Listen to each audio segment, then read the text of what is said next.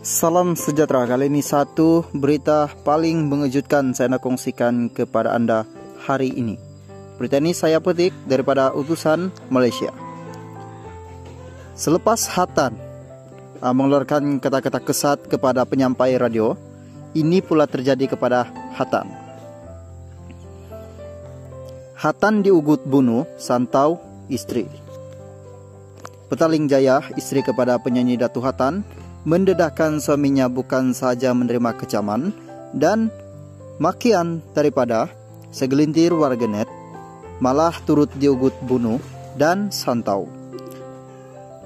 Datin, Arini, 52 mendedahkan suaminya itu turut dihina sehingga ada yang menyamakan penyanyi Maligai Syadu dengan Firun kerana sikap riaknya seperti yang didakwa. Walaupun ramai yang meminta saya untuk memberi penjelasan, tetapi bagi saya tidak perlu. Tak apalah, biar saya simpan sendiri cerita sebenar. Hanya saya dan keluarga yang mengenali dia. Menitik juga air mata saya membaca komen-komen, tetapi sebagai seorang istri, saya perlu kuat dan sentiasa berada di belakang suami. Apa pun baik buruk dia, tetap suami saya. Tiada manusia yang sempurna. Setiap manusia melakukan kesilapan. Janganlah kita meninggalkan komen sehingga menimbulkan fitnah, takut yang dianggap salah dapat pahala, kita pula dapat doa katanya.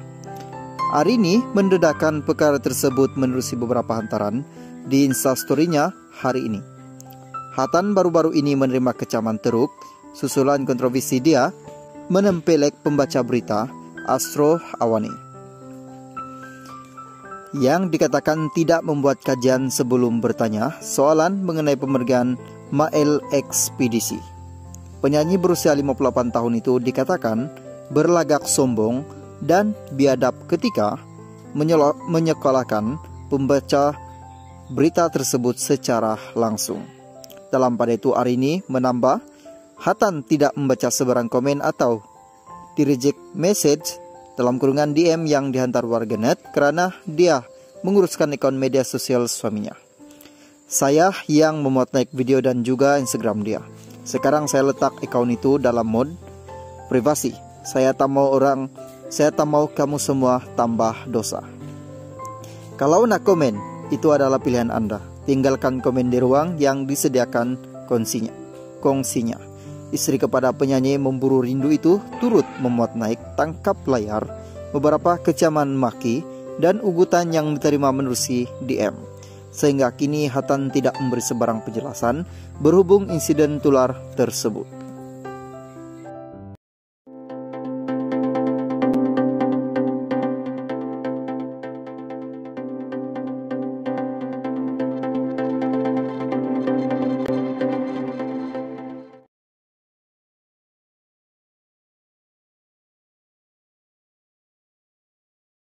Salam sejahtera kali ini satu berita saya nak kongsikan kepada anda. Berita ini saya petik daripada Roti Kaya.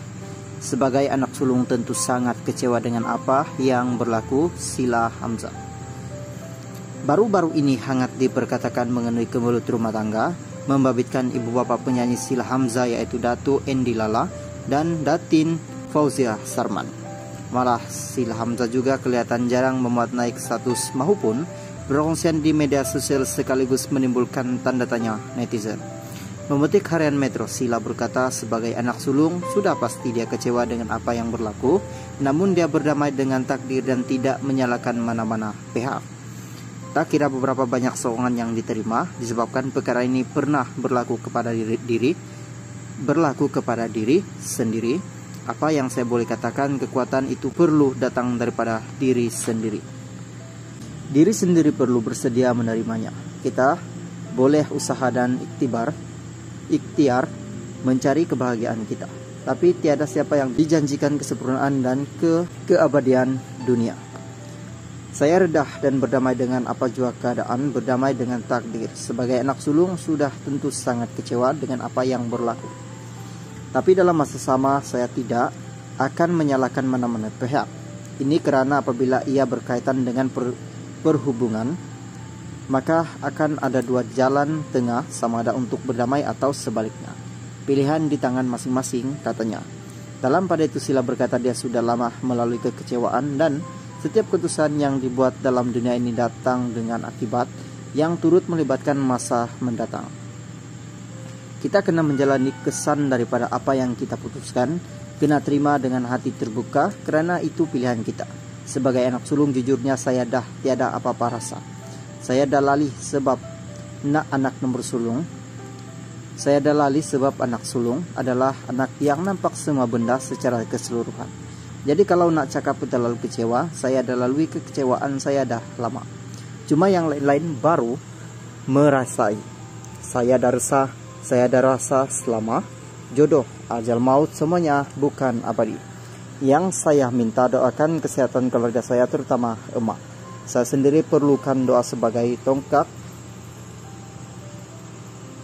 tonggak untuk mencari rezeki buat keluarga. Itu saja yang saya rasa boleh menambah baik keadaan katanya. Terdahulu Sila menafikan wanita bersama Siti Mun Munaira yang tidak kuat istri kedua bapaknya Andy. Lala itu turut Lala itu adalah kawan baiknya. Sila berkata dia sememangnya mengenali wanita itu sejak sekolah namun tidak layak untuk digelar kawan baik.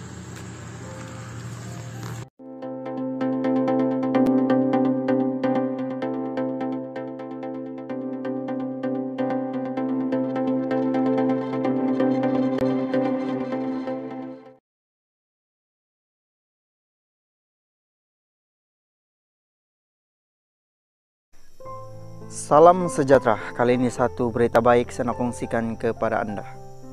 Berita ini saya petik daripada media hiburan. Tolak tapi konflik. Rumah tangga, Putri Sarah nampak kepi di Kedah. Isi masa dengan Janani. Pelakon Putri Sarah Liana kini berada di kampung halamannya di Kedah bagi merayakan sambutan Syawal tahun ini bersama sepasang cahaya matanya selesai bersalaman dan beraya bersama keluarga menantunya di ibu kota Putri Sarah dilihat mulai berkongsi foto foto rayanya di Kedah. Turut kelihatan dalam hantaran sama ialah pelakon Jananik yang merupakan artis asal